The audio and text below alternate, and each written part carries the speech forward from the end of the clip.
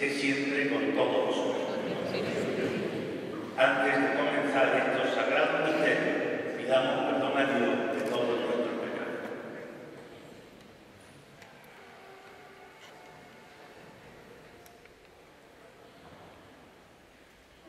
Yo confieso ante Dios todo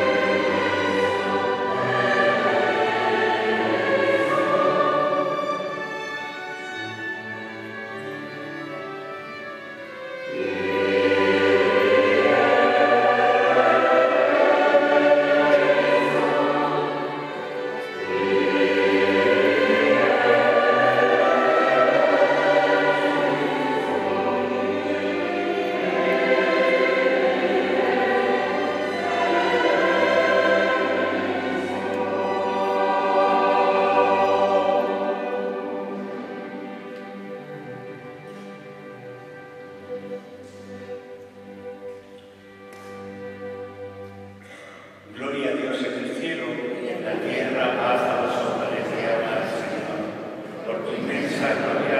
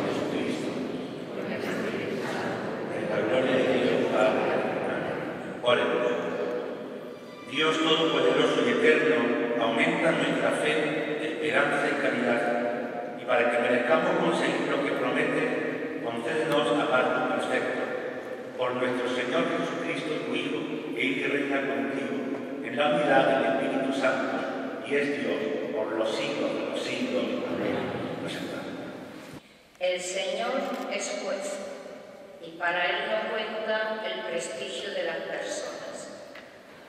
Para Él no hay acepción de personas en perjuicio del pobre, sino que escucha la oración del oprimido. No desdeña la súplica del huérfano, ni a la viuda cuando se desahoga en su lamento. Quien sirve de buena gana es bien afectado y su plegaria sube hasta las nubes.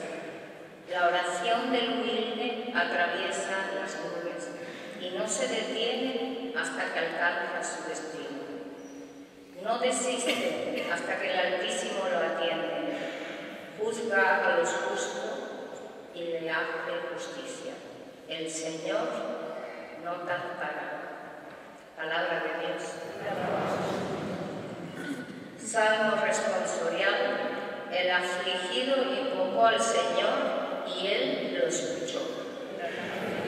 Invocó al Señor y Él lo escuchó. Bendigo al Señor en todo momento. Su alabanza está siempre en mi boca. Mi alma se gloria en el Señor. Que los humildes lo escuchen y se alegren. El afligido invocó al Señor y Él lo escuchó. Señor se enfrenta con los malhechores para borrar de la tierra su memoria. Cuando uno grita, el Señor lo escucha y lo libra de sus angustias. Al Señor y Él lo escucha. El Señor está cerca de los atribulados, salva a los abatidos. El Señor redime a sus siervos, no será castigado quien se acoge a Él. El afligido invocó al Señor y Él lo escuchó.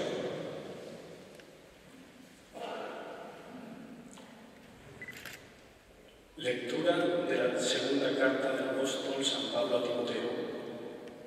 Querido hermano, yo estoy a punto de ser derramado en liberación y el momento de mi partida es inminente. He combatido el buen combate, he acabado la carrera, he conservado la fe. Por lo demás, me está reservada la corona de la justicia, que el Señor, juez justo, me dará en aquel día y no solo a mí, sino también a todos los que hayan aguardado con amor su manifestación. En mi primera defensa, nadie estuvo a mi lado, sino que todos me abandonaron. No les he tenido en cuenta, mas el Señor estuvo a mi lado dio fuerzas para que, a través de mí, se proclamara plenamente el mensaje y lo oyeran todas las naciones. Y fui librado de la boca del león. El Señor me librará de toda obra mala y me salvará, llevándome a su reino celestial. A Él la gloria por los siglos de los siglos. Amén. Palabra de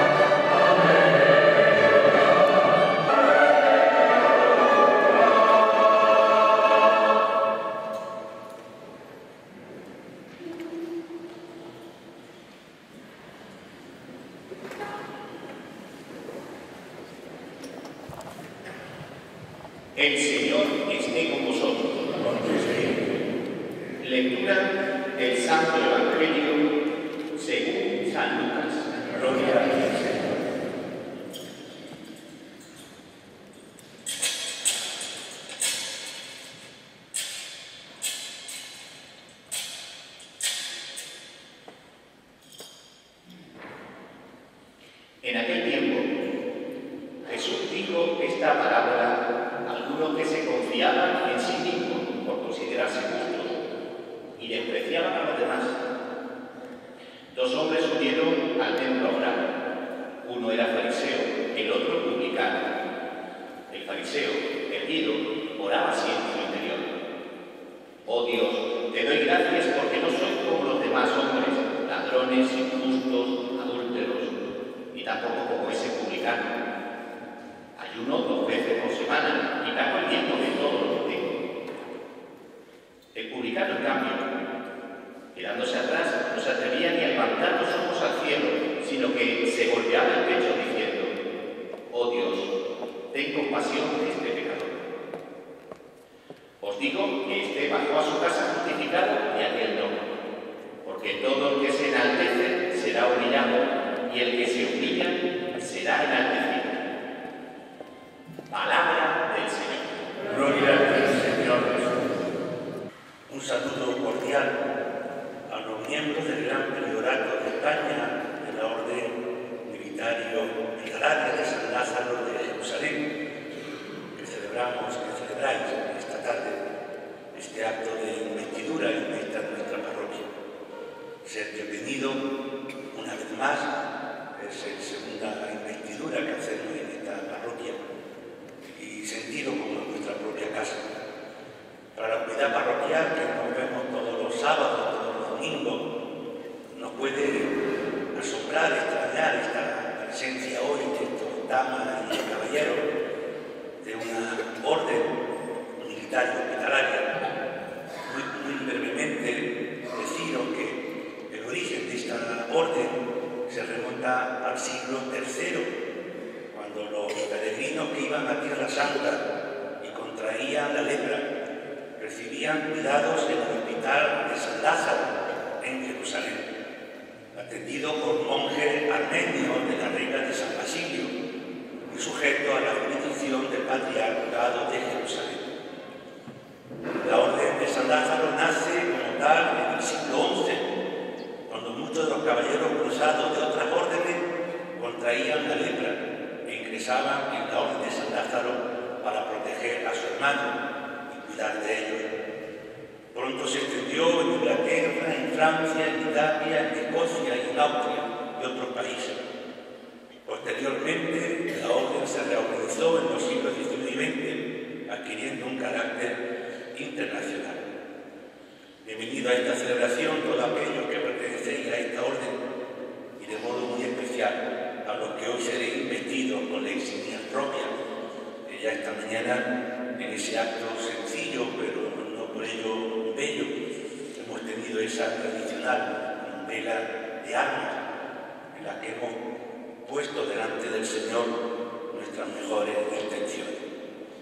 Esta orden, igual que otras, brotan de la palabra de Dios. Hemos repetido en el Salmo, si el afligido, el afligido invocó al Señor y Él lo escuchó. Esta orden nace del clamor del. Esta orden nace del afligido, como hemos dicho, de esas personas que en su peregrinara al quinto evangelio, a Tierra Santa, enfermaban. Y siempre había otras almas caritativas, hospitalarias, misericordiosas, en esos siglos en los que esa enfermedad era tan contagiosa, tan terrible, se, se compadecían de ellos y con sus cuidados le hacían la muerte un poco más agradable. Por eso esta orden tiene vigencia actual, porque en este mundo sigue habiendo gente afligido que invocan al Señor, que nosotros tenemos que estar también pendientes de ese clamor, a veces escandaloso, otras veces silencioso. Hoy nuestros Lázaros, esos Lázaros que nosotros llevamos en nuestra devoción, esos Lázaros que fueron y fue el amigo del Señor, aquel Lázaro por el que Jesús lloró, se compadeció de él cuando murió. Y al ver que el sepulcro ya olía a muerte, el Señor no tiene reparo en entrar y mancharse en las manos con aquella muerte de su amigo, acercarse a él para darle vida. Esa tiene que ser de alguna manera nuestro caminar, acercarnos a los que sufren para darles vida, acercarnos a los que están enfermos para darles acercarnos a los que están solos para darles vida, acercarnos a los ancianos para darles vida, acercarnos a, los enfermos terminales para darles vida, acercarnos a esos que nadie quiere para darnos vida, igual que Jesús le dio vida a su amigo entrañable Lázaro. Por eso creo que también esta orden hospitalaria, por esa advocación, ese titular que tiene tan cercano a Jesús, también es ejemplo de, amistad. Jesucristo no, no se casó, no tuvo mujer, no tuvo hijos. Marta, María, Lázaro se convirtieron en su familia, a donde él iba a descansar, donde él iba a ver su corazón, donde él también, cuando se sentía mal, iba a Betania a, descansar de su fatiga. Los tres últimos días de su vida, lo que nosotros llamamos lunes, martes, miércoles santo, jueves santo, Jesús lo pasó en Betania. Solamente Lázaro pudo escuchar el latido de ese Dios que moría, esas conversaciones tan privadas, tan intensas que pudieron tener. Imaginaron a Jesús nuestro Señor y a Lázaro hablando de su, de su vida, de sus preocupaciones, de su dolor, de su tragedia. Imaginaros a un amigo vuestro que llega a tu casa y te dice, dentro de tres días voy a morir, dame un abrazo, me siento mal, estoy, estoy enfermo, mi vida va a terminar pronto, te necesito como amigo. Eso fue Lázaro para Jesús. Lázaro para Jesús fue el último abrazo. Lázaro para Jesús fue el último que lo escuchó hablar antes de irse a Jerusalén. Lázaro para Jesús fue el amigo confidente, el amigo cercano, el amigo fiel. No fue de los apóstoles, no fue de los elegidos, no fue de los primeros, como hemos escuchado en el Evangelio. Él no se ponía en los primeros lugares, pero seguro que estaba cerca del Señor, porque era su amigo, mi amigo, mi amigo Jesús está, pasando de esta vida a la casa del Padre. Pues pidámosle al Señor que sigamos escuchando clamor de los afligidos. Sigamos, pidámosle, al Señor que esta orden hospitalaria sea ejemplo de misericordia y de amistad. Y aquellos que os incorporáis hoy a esta gran familia, pedir al Señor y a San Lázaro nos conceda la alegría de estar atento al susurro de esta humanidad que. Y ojalá todos nosotros hoy también le demos las gracias a Dios por esas personas que están siempre a nuestro lado, por las personas con las que pueden contar siempre. Esos amigos, quizás algunos en el cielo, otros todavía cercanos en nuestra vida, esos Lázaros que tenemos y que tanto nos quieren. Démosle gracias al Señor porque son como verdaderos regalos para, nuestra vida. El amigo, la amiga, que sin llevar la misma sangre, sin tener los mismos apellidos, sin ser de la familia, a veces son muy cercanos y a veces son como hermanos. Démosle gracias a Dios por los lazos de nuestra vida y sigamos pidiéndole por el amor y el sufrimiento de esos dos que al igual que en esa parábola del rico y pulón estaban a la puerta de sus mansiones y los perros le vendían la llaga. Que seamos y tengamos entraña de misericordia. Este mundo necesita hombres y mujeres buenos estén cerca de los que sufren. Y ojalá los que formamos parte de esta orden militar hospitalaria de San Lázaro seamos esos hombres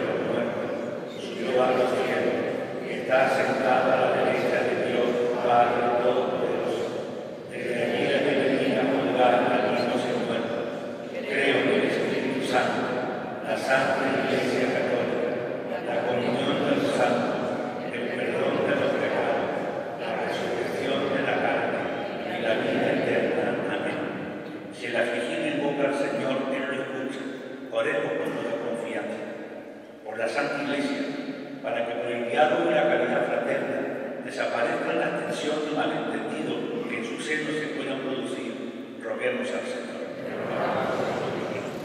Por todos los que trabajan por mejorar las condiciones de vida de los más necesitados, por esta orden de Santa Fran, para que descubran en su esfuerzo la acción de Dios que no es parcial con el, que, con el afligido. Roguemos al Señor.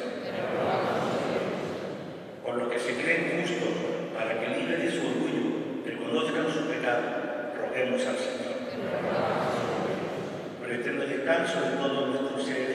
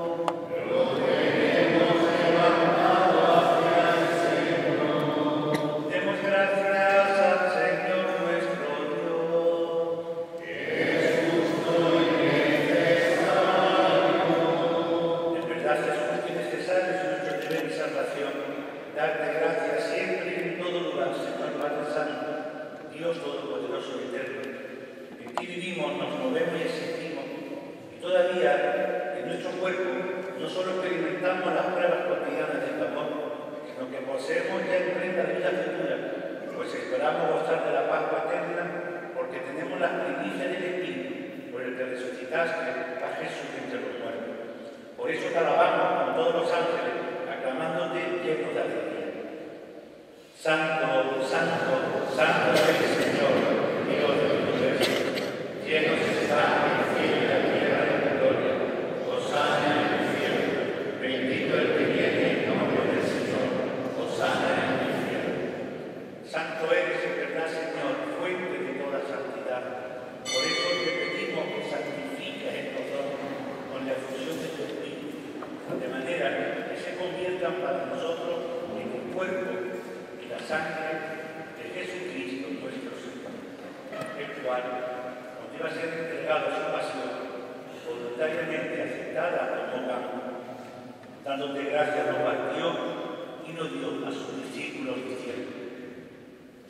Mas,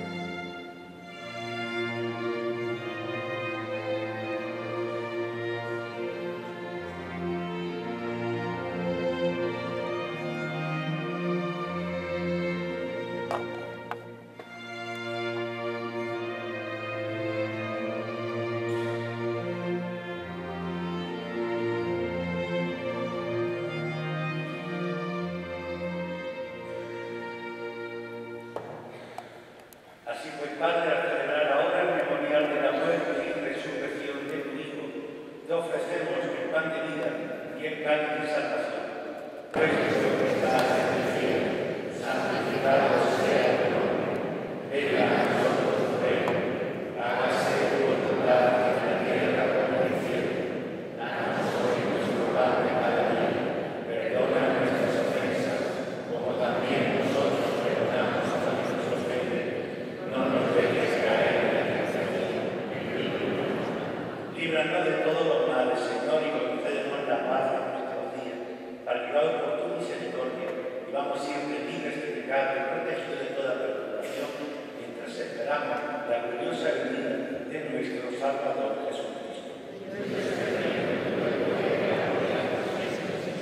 Señor Jesucristo que dijiste a tus apóstoles, la paz os dejo, mi paz os doy, no tengas en cuenta nuestros pecados, sino la fe de tu iglesia y conforme a tu palabra, concede la paz a la humanidad. Tú que vives y reinas por los siglos de los siglos. La paz del Señor es